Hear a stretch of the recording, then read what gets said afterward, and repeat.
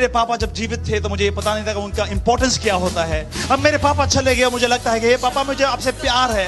मैं आपको हक करना चाहता हूँ। मैं आपको किस करना चाहता हूँ मैं कर नहीं सकता हूँ। मैं उनके पैर छूना चाहता हूँ मैं कर नहीं सकता हूँ। अगर आपके माँ बाप आपके पास है तो पैर छू लो यार। हक कर लो यार। आई लव यू बोल दो यार उन्हें। क्या आपको ये पता है? क्या आपको ये पता है कि जब आपके माँ के कोक के अंदर आए थे और आप पहली बार मूव हुए थे माँ के कोक के अंदर, आपका पहला मूव एक माँ को लात देकर शुरू हुआ था।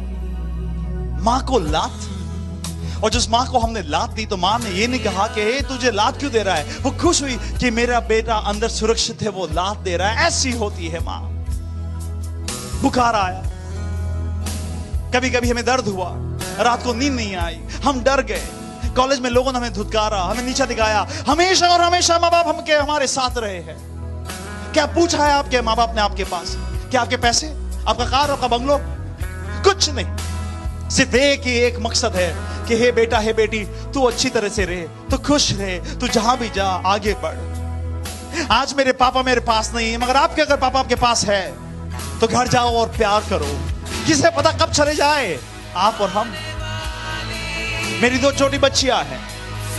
मुझे पता है मैं उसे कितना प्यार करता हूँ। जब स्कूल से बाहर निकलती है, अगर वो दोनों लड़कियाँ मुझे पता है हमेशा मेरा दिल जो है धड़कता है, वो सुरक्षित तो है, वो सेफ़ तो है। आप लोग इमेजिन करिए, आपके मामा, पापा, आप लड़कियों के लिए कितना सोचते हैं, कितना करते हैं।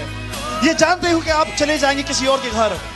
वो होते हैं माता पिता निस्वार्थ। और जो लड़के यहाँ पर कभी कभी पापा हमसे चिल्ला के बात करते हैं, गुस्से से बात करते हैं, उनका अधिकार होता है।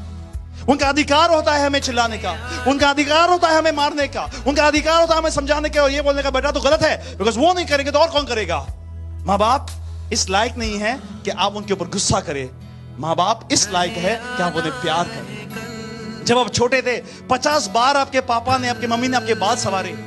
आपके मम्मी पापा बूढ़े हो गए कभी आपने जाके सवारे माँ बाप के माल माँ बाप जब आप भूखे थे, खाना नहीं खाते थे तो बोला, नहीं बेटा, खा ले बेटा प्लीज़ खा ले बेटा, एक कबाब मेरे लिए खा ले। कभी आप चाहते हैं, मम्मी पापा के पास बोलते मम्मी, पापा, एक कबाब मेरा खा ले। कमान क्या हम बात कर रहे हैं जैनिज्म की? जैनिज्म की शुरुआत होगी जब हम हमारे माँ बाप के चरणों के अंदर हम पहले भगवान को ढूंढेंगे। जो लड़का, जो लड़की अपने माँ बाप का नहीं बन सकता, वो जैन धर्म का कैसे बनेगा? शुरुआत घर से करनी है। ऐसे माँ बाप के लिए ऐसी ज़ोर से ताली होनी चाहिए कि जहाँ हमारे माँ बाप है उनको फील हो। to him, but I love you, mommy, I love you.